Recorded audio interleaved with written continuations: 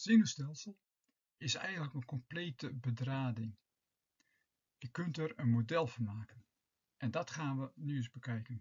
Trouwens alleen met passieve geleiding. We beginnen met een celmembraan. Links ionen, rechts ionen. Links dusdanig dat er een positieve lading is en rechts een negatieve lading. En deze situatie komt ook in de elektronica voor en wel in een component met de naam condensator. En zo ziet hij eruit. Ja, je hebt ook wel andere condensatoren, maar hè, dit is een condensator. Um, het is eigenlijk, zijn het twee platen hè, tegenover elkaar en het elektronisch symbool, het elektrisch symbool hiervoor is dit, ja, twee van die plaatjes met twee draden aan elkaar. En we gaan even kijken wat er gebeurt.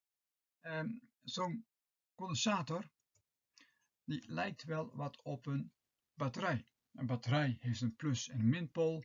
En laten we eventjes een voltmeter tussen zetten. En als je voltmeter op de batterij zet, dan geeft je bijvoorbeeld uh, anderhalf volt aan. Nou, we doen even de draden weg. Ja, dan geeft je weer 0 volt aan. Doe een draad op de condensator en die geeft gewoon 0 volt. De condensator is leeg. Als ik nu de draden ook weer aan de batterij vast doe, anderhalf volt dus, ja, en ik doe de draden daarna weer van de batterij af, dan zie je dat de spanning anderhalf volt blijft. Blijkbaar is die spanning op de condensator komen te staan en die condensator kan die spanning vasthouden. Net zoals met een celmembraan ontstaat er dus een positieve en een negatieve kant aan. Eventjes van dichtbij bekeken. Positieve lading aan de ene kant, negatieve lading op de andere kant. Oftewel, er wordt lading opgeslagen. Even korte herhaling. Lading, de grootheid, ja, heeft als symbool de hoofdletter Q. En de lading heeft als eenheid de coulomb. Nou, nou zo'n natrium plus ion heeft een lading van 1e. En 1e is gelijk aan afgerond althans 1,6 keer 10 tot de macht min 19 coulomb. En het chloor-ion Cl- heeft een lading van min e en dus een lading van min 1,6 keer 10 tot de macht min 19 coulomb. Staat trouwens in Binas tabel 7.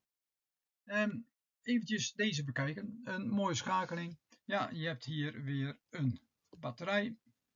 Voltmeter overheen en je ziet 1,5 volt. Um, deze schakelaar staat open, vandaar dus dat er nog geen stroom kan lopen zo. Ja, en let op, de stroom kan niet langs de voltmeter, want de voltmeter heeft een oneindig hoge weerstand. Uh, wat gebeurt er nu als ik de schakelaar sluit? Nou, let op, ik sluit de schakelaar, boink, en op het moment dat ik de schakelaar sluit, dan gaat er plotseling een stroom lopen. Ja, je ziet dat de stroommeter uitslaat. Ja, ik heb er maar 1 ampère van gedaan, maar goed. Maar hij slaat meteen uit, maar daarna gaat hij weer naar 0 toe, maar tegelijk zul je zien dat de spanning hier weer toeneemt. Ja, dus amperemeter sloeg uit en daarna ging je weer terug. En dat betekent dus dat er een stroom liep, zo, ja, en die stroom die loopt totdat de condensator volledig vol is.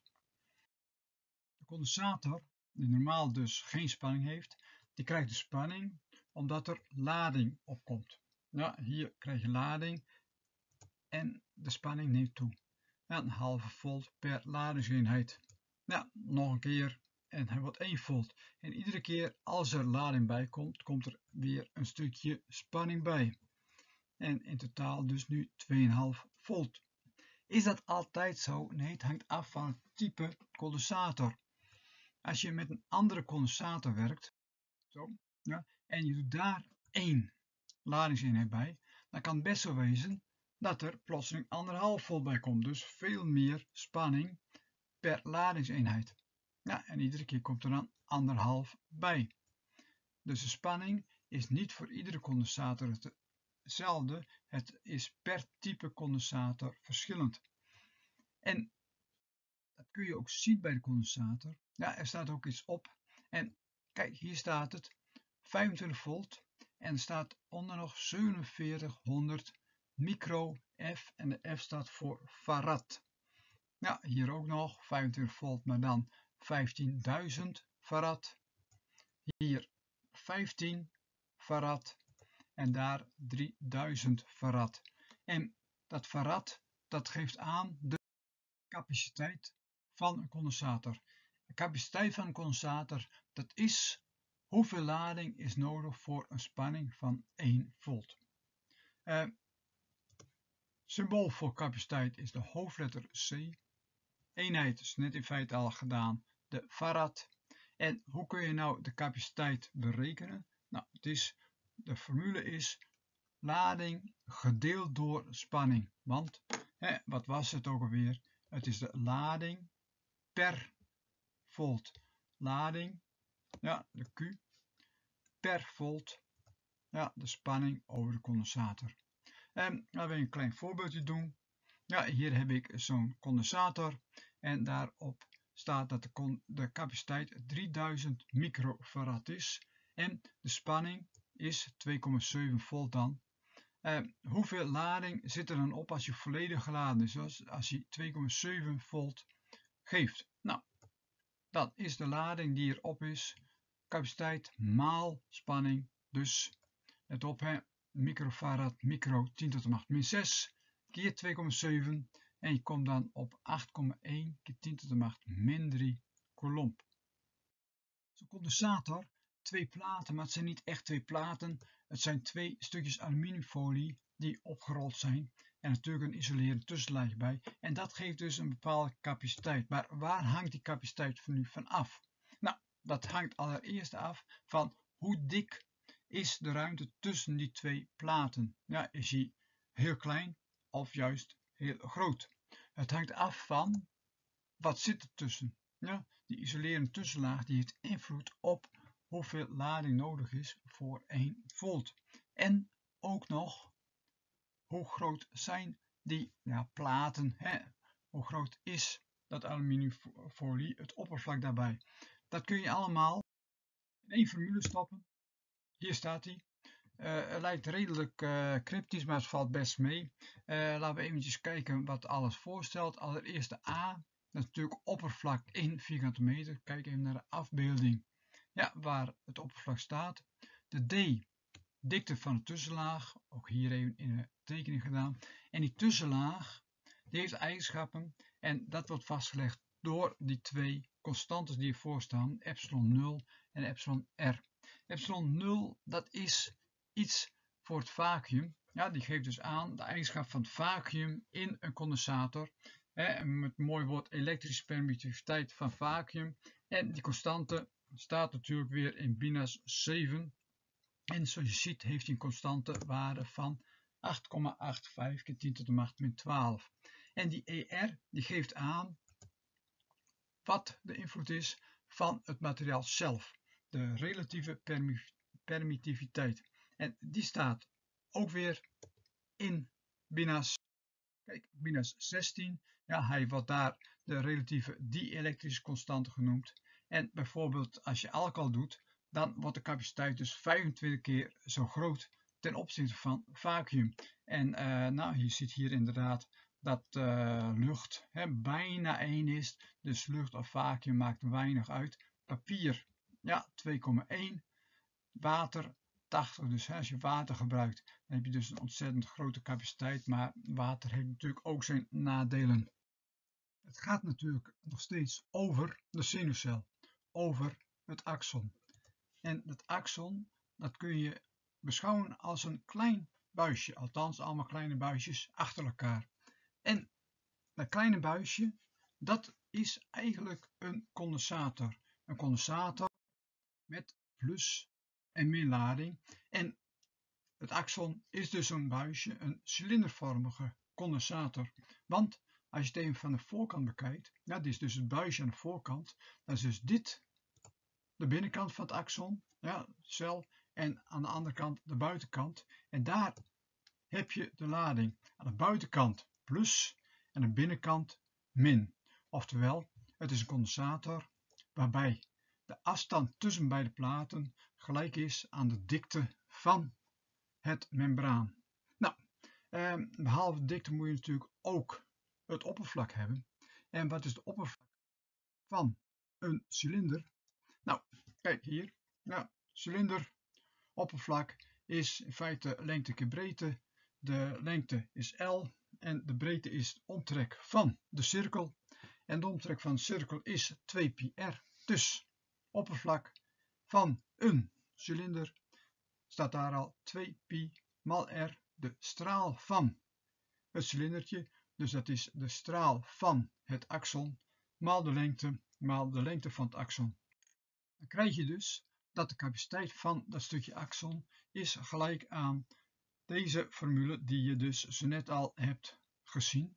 Alleen dan vul je dus voor A het oppervlak van de cilinder in en D de dikte van een cilinder en dan allemaal voor het axon. Ja, oftewel, je krijgt dus dan de L is de lengte van het stukje axon en D is de dikte van het membraan van het axon.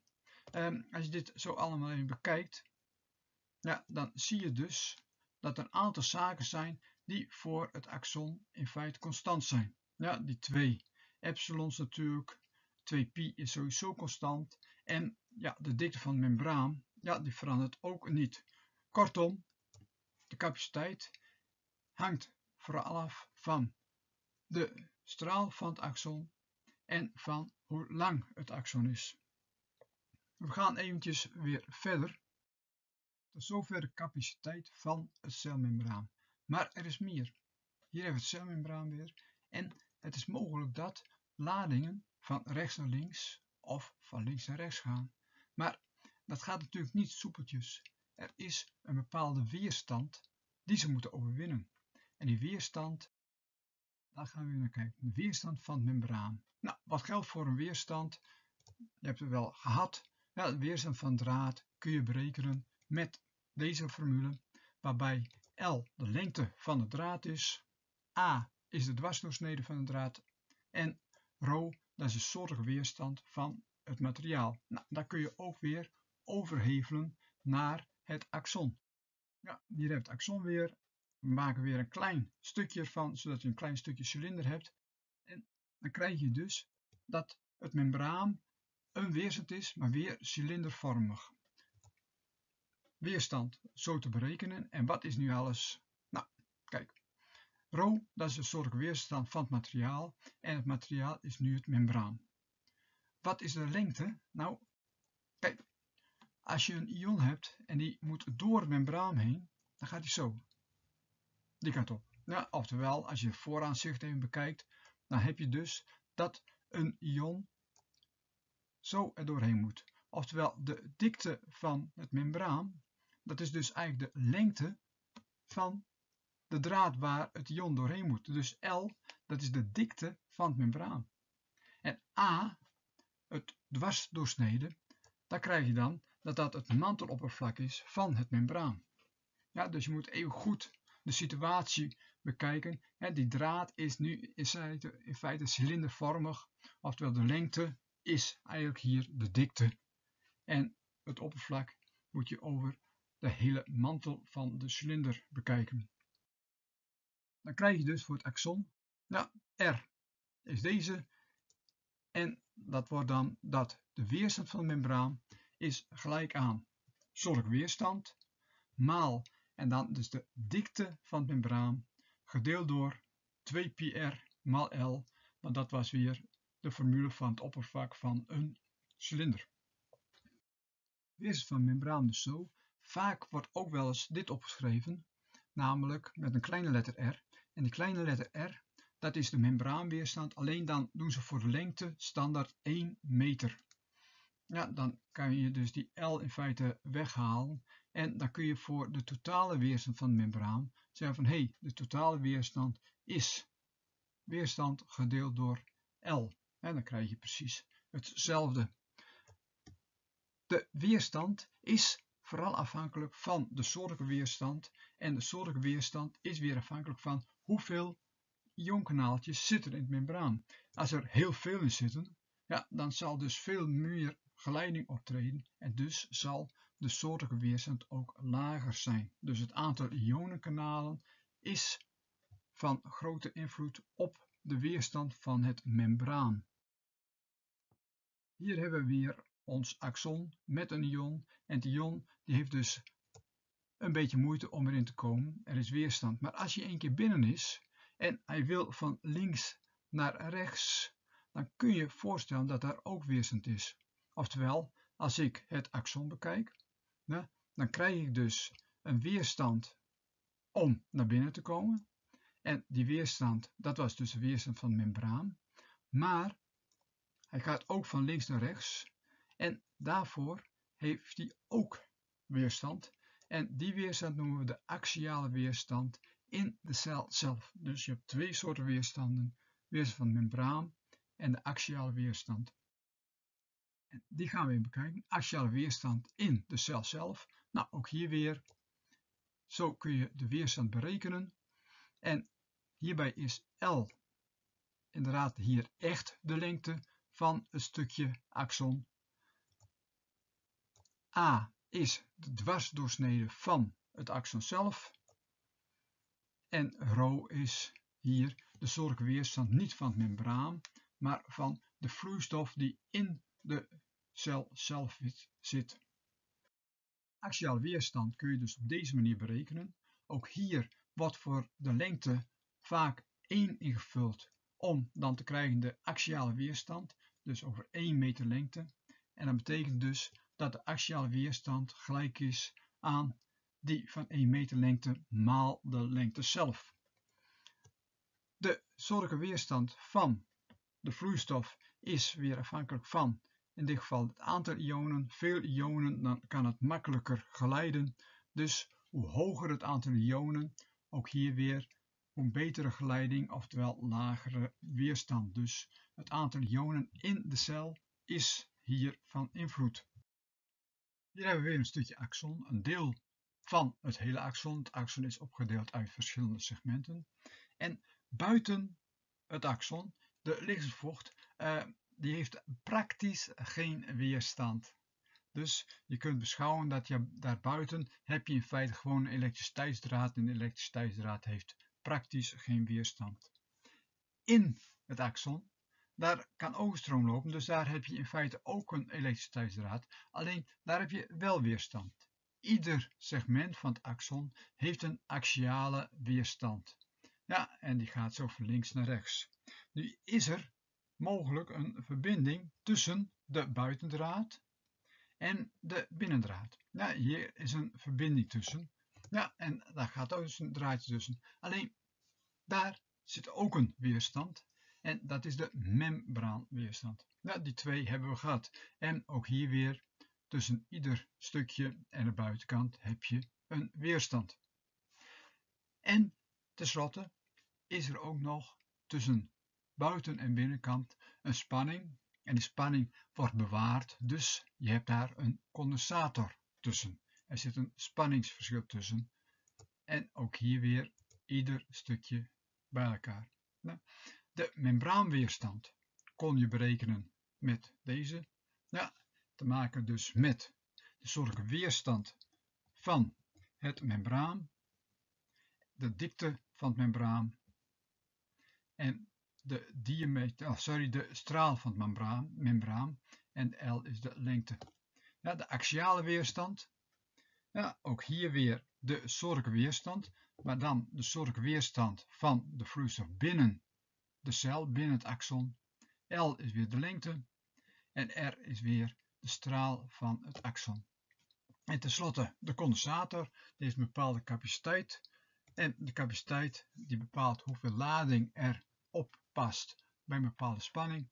En die is ook weer afhankelijk van lengte van het axon, de straal van het axon en ook hier heb je weer te maken met de dikte van het membraan. Goed, we doen eventjes alle formules weg. Het axon zelf ook weg, zodat je alleen maar de elektrische componenten overhoudt. Ehm, en dan kijken we eventjes specifiek naar waar het over ging, namelijk het natuurkundig model bij passieve geleiding. Ja, daar gaat het om passieve geleiding en dat betekent dat er geen actiepotentiaal is, oftewel die spanning hè, die blijft altijd onder de drempelspanning. En in dat geval zal die condensator ook iedere keer volledig gevuld zijn, hè, volledig opgeladen zijn. En dat houdt in dat door de condensator geen stroom meer gaat lopen. Oftewel, als je de stroom bekijkt, dan is de condensator buiten spel gezet. Alle stroom gaat door de membraanweerstand heen en door de axiale weerstand heen. Je kunt overal de spanning meten. Over ieder segment meet je de spanning. En als je dat dan doet, dan zie je dat de spanning naar beneden afloopt. Ja, hij heeft eerst een maximale waarde en die loopt dan snel naar beneden toe. Ja, dus dit is een grafiek in feite van de spanning als functie van de afstand. En deze meting, ja, dat gaat om het natuurlijke model bij passieve geleiding en het komt ontzettend goed overeen met de praktijkmetingen. Let op, dit is wel voor passieve geleiding. Actieve geleiding met actiepotentiaal, dan komt er heel wat meer bij kijken en dat gaat een beetje te ver om dat hier te behandelen. Goed, ik zou zeggen, geef elkaar de hand, want we zijn er weer doorheen. Bedankt voor de aandacht en tot ziens.